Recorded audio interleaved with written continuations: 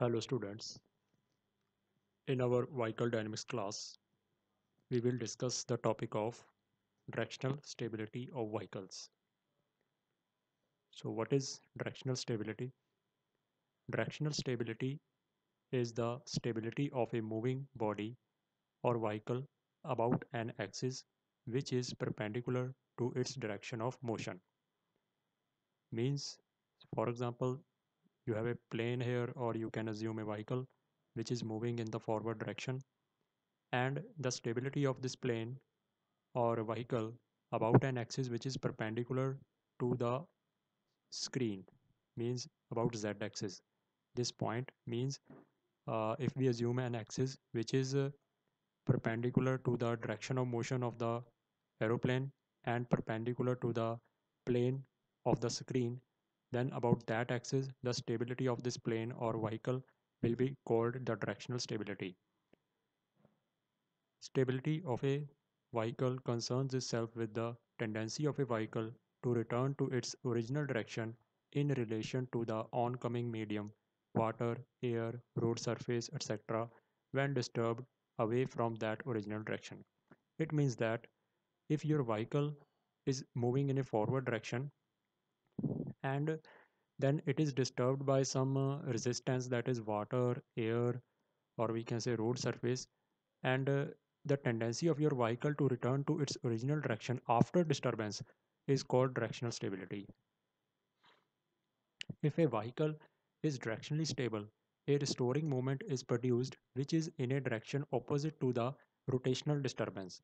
It means that, for example, this is your disturbing force or we can say disturbing moment.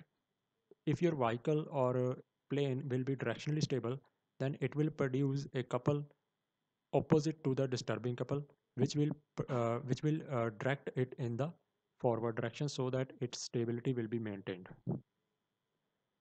This pushes the vehicle so as to return to its original orientation, thus tending to keep the vehicle oriented in the original direction.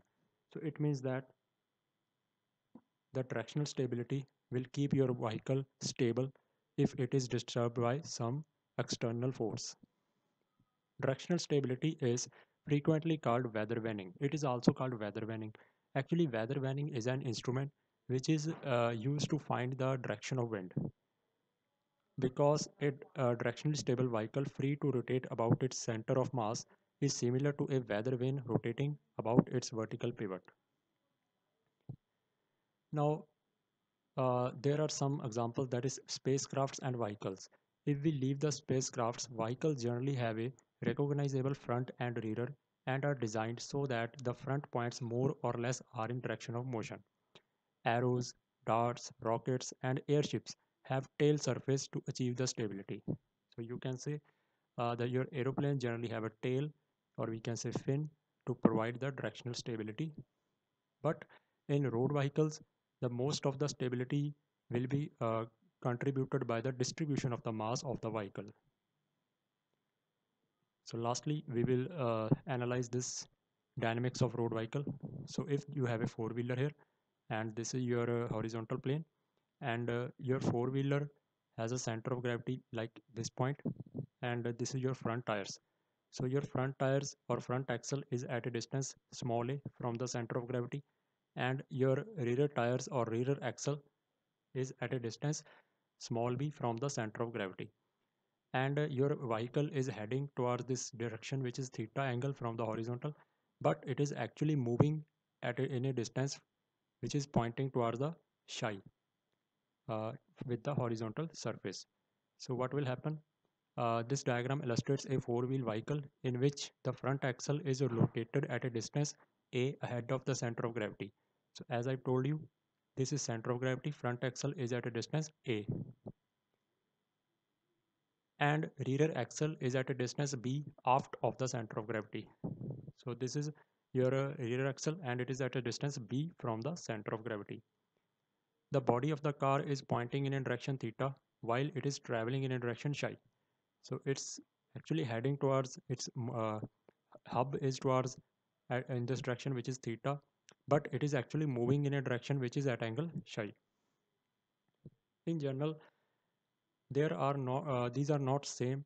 The tire treads, uh, treads at a, at the region of contact point in the direction of travel. So what will happen in this case? If your hub is in this direction and vehicle is moving in this direction so your uh, the contact patch of the your uh, tire will be distorted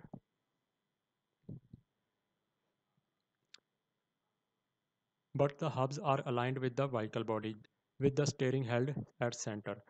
Uh, the, the tires distort as they rotate to accommodate this misalignment. So due to this mis misalignment to accommodate this mis misalignment your tires will have to distort. Their shape will be distorted means their tread pattern will be distorted and generate side force which is also called slip angle which we have uh, discussed in the previous cases so this covers your topic of directional stability. Okay guys. Thank you